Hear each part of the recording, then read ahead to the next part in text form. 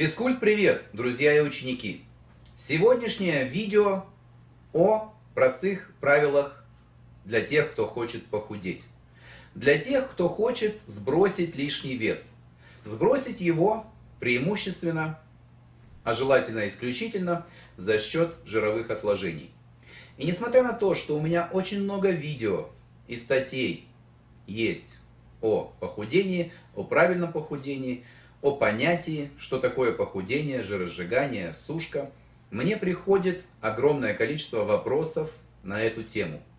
Сегодня видео для тех, кто не собирается выступать на соревнованиях, даже не хочет выглядеть как какая-нибудь модель с новомодного журнала.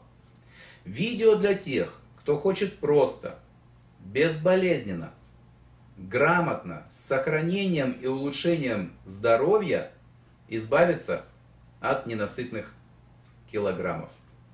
Что для этого нужно делать? Во-первых, ребята, выбросьте из головы все, что вы знали до этого. Похудеть на самом деле очень просто, если вы действительно этого хотите. Но, если вас больше 15 килограмм жира, вам нужно все-таки обращаться к врачу, к специалисту, потому что, скорее всего, у вас какие-либо гормональные нарушения в организме уже произошли, либо были, и ожирение является последствием гормональных сбоев.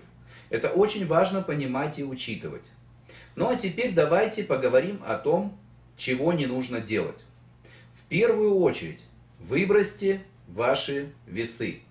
Никогда не меряйте свой результат, свой успех по весам. Я это говорил уже неоднократно. Если вы начнете правильно питаться и при этом тренироваться, весы вам только помешают. На психологическом уровне, на любом уровне. Почему? Потому что ваши мышцы, не тренированные, не получавшие до этого никакой нагрузки, будут накапливать в себе воду, будут укрепляться, но жир при этом не успеет еще вас покинуть. Еще очень долго не успеет вас покинуть.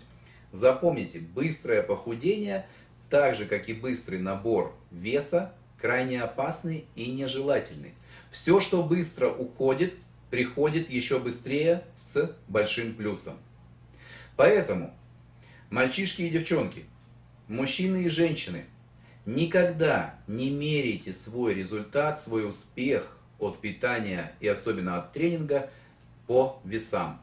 Все, сломайте их, выбросьте, подарите врагу, подарите соседу. Объяснил почему, да? Потому что при правильном построении цикла питания и тренинга, возможно, ваш вес первый месяц-два будет увеличиваться.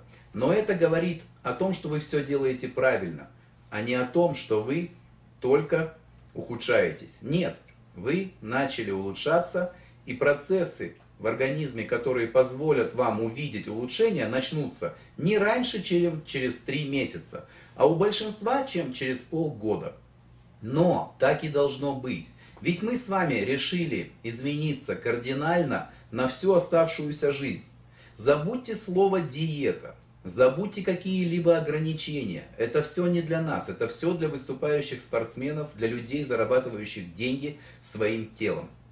Мы с вами не больные люди, поэтому мы не должны использовать слово диета. Мы с вами должны просто-напросто правильно питаться. Поэтому еще раз, весы на мусор. Следующее. Вам говорят, что нужно считать БЖУ, считать калории. Делать этого не нужно. Вы только будете мешать себе, вы только будете уставать, нервничать. Что нужно сделать? Нужно просто первую неделю записать по дням все, что вы ели.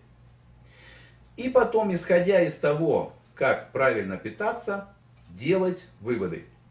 Если вы находитесь на том отрезке времени, когда вы набрали определенную массу тела, жировую, и при вашем питании вы больше не набираете, это одно. Если вы набираете еще при этом питании, это уже совсем другое.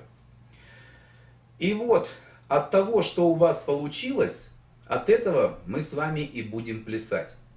Но не старайтесь, опять-таки говорю, кардинально, резко поменять все свои привычки в питании. Ни в коем случае этого не нужно делать. Это только помешает вам. Что нужно сделать? Во-первых, если вы кушаете один-два раза в день, необходимо разбить рацион на 5-6 раз. Нужно есть каждые 3 часа. Максимум 3,5 часа перерыв между приемом пищи. Для вас это закон, особенно для тех, кто хочет похудеть. Как бы это ни странно звучало. Если вы кушаете даже мало, но при этом набираете вес, значит вы кушаете неправильные вещи, значит ваш организм неправильно настроен. Вы должны есть каждые три часа. Запоминаем, никогда не слушаем никого, кто вам говорит не есть после шести. Это полные дебилы. Почему? Да потому что многие из вас ложатся в 3 часа ночи. Самое главное, не есть за полтора, а лучше два часа до отхода ко сну. А что есть в последний прием пищи? В последний прием пищи лучше всего подходит куриная грудка или грудка индейки. Лучше всего подойдет постный кусок говядины. И при этом можно съесть, не ограничивая себя, салат, любую зелень. Запомнили, да? Вечером, перед сном мы не кушаем, а последний прием пищи исключает из себя простые и сложные углеводы. Единственное, что можно себе позволить, это салат. Без майонезов, без кетчупов, без каких-либо заправок, если только вы сами их не делаете. Но никаких углеводов, ни быстрых, ни медленных. Только постная говядина, куриная грудка, грудка индейки. Можно есть в неограниченном количестве морковь, капусту, огурцы, помидоры. Единственное, и запомните, это очень важно, они должны быть свежими, без термической обработки. Термически обработанные овощи превращаются в углеводные бомбы.